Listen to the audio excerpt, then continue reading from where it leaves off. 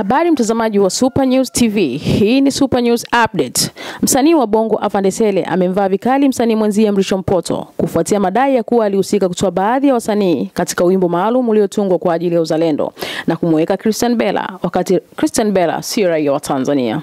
Avandesele amedai kitendo hicho ni kuwakosea heshima wa Tanzania na wasanii wa Tanzania na Watanzania wenyewe.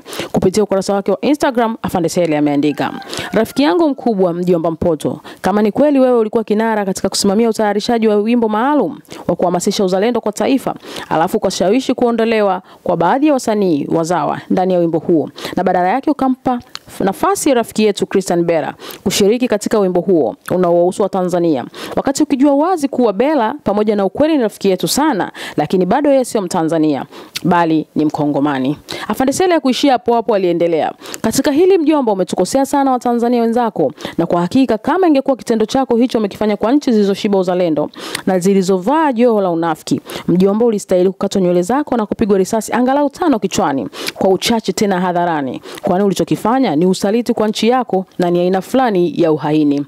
Baada ya kauli hiyo, Afande Sele alichukua saa moja tu Mrisho Mpoto akajibu madai hayo, huku akieleza zaidi ya kushangazwa na kauli ya kupigwa risasi. Kupitia ukurasa wake wa Instagram, Mrisho Mpoto alijibu hivi: kaka yangu Afande Sele, bado narudia tena na kusema kwamba heshima ninayokupa inatoka mbali sana kwenye chumba cha nne cha moyo wangu. Sihitaji kupoteza wino mwingi kukukumbusha tofauti iliyopo kati ya uzalendo, uzawa na uraia, kwa sababu nina uhakika unazifahamu vyema, isipokuwa huenda leo hujaamka ule ubavu sahihi na ule wa ukarimu wako ulionao siku zote mpaka ukakataa uwepo wangu duniani kwa kunichagulia adhabu ya kupigwa risasi tano tena za kichwa, kwa kuwa hukuniuliza hili jambo kabla isto kabla itoshe kusema hunitaki tena. Hivyo basi, kabla sijapigwa hizo risasi tano, nitakachokifanya ni kikupa maelezo machache yatakayofanya uipate picha ya uzalendo. Hii si mara ya kwanza kwa wasanii hawa kurushiana maneno mtandaoni. Utakumbuka hivi karibuni wakati msanii Elizabeth Michael Lulu alipohukumiwa kifungo cha miaka miwili jela kufuatia kuua bila kukusudia msanii mwenzie Steven Kanumba.